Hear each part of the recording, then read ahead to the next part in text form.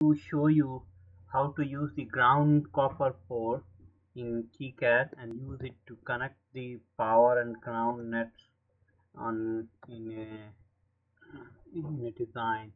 So let's say we have this design which uses LM25763 ICs and they have a ground network and this is what I have their uh, the PCB layout if you look at this net this particular net which is the uh, ground net if you look closely these these are all let me select all of the net completely so that you can view where these go completely.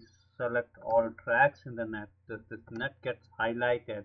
This is all like this coming over connected in a zigzag fashion like this this this and it's going all over the place all way to here to these connectors so instead of using them to connect it in this fashion what we could do is if you look at the bottom layer so I turn the front layer off and then I turn the ground layer off what I can do is I can select this board copper and right click and properties and then instead of no net what I can do is I can assign it to the ground layer. So what I click when I click OK here this net is now assigned the ground name. And if you already see that this pin which was earlier not connected gets automatically connected to this ground pour. And the same thing is over here. This you see these uh, connections like uh, this and this gets connected to that ground pour so many of them these get automatically connected and the rest of the things uh, let me turn off the uh, bottom layer and just on the top layer I will remove the copper uh, and then I select this whole net again select all tracks in the net and then I just hit delete when I do that this gets disconnected but now we have on the bottom side this copper pour that you can see right here. And then what you could do is uh, you could just go on and click each of these nets and uh, just drop down a via from here. Uh, maybe I can do a predefined via I can add a thicker via like a 30 mils uh, and then track uh, anytime I try to um, track uh, use a ground for I use a thicker via. Uh, okay so this is how I do it click on V it potentially adds this via here and so on and so forth. So now you notice that this that under this is this this this one gets connected to the top one. The same thing I could do for example between this and this. I again connect this one with uh, a I just can connect with this one same the same fashion with this. Maybe a 9.8 millimeter same this thing. So the idea is to just go on connecting these things and go on pouring more via here right here and then place through via. So you get a uh, a via here. Now this net again get connected to the bottom.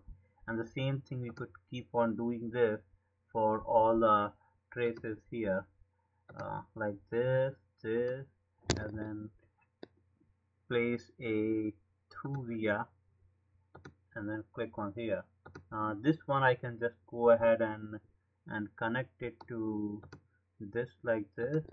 So it will get connected. So I can go ahead and uh, the, the top now for, for the moment I can just go ahead and delete this uh, top uh, pour but probably I can uh, I can assign this top hmm, filter selection uh, okay.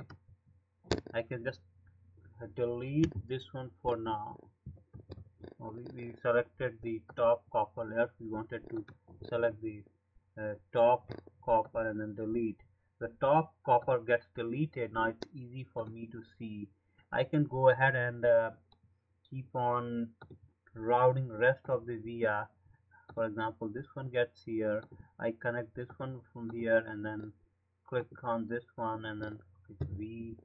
Uh, just click same thing for here. Again click ground V click. Uh, but just but just, just by doing this repeating this process again I can go on just adding more and more via on my design. Like this this we enter this then again again keep doing the same thing. So you got the idea. You can just go on. And now if you look at the bottom layer you see that I have a VI if you again uh, remove the back layer. So you see that there is a via right here and the via right here. They are connected through the bottom layer ground pour so in this fashion you can just go ahead and connect all the rest of this uh, ground pour they are connected to this bottom via i hope this understanding helps and you can apply this same thing to the top layer for plus 5 volt. So the key thing again is to select this uh, whole uh, copper plane and then and then uh, assign it a net name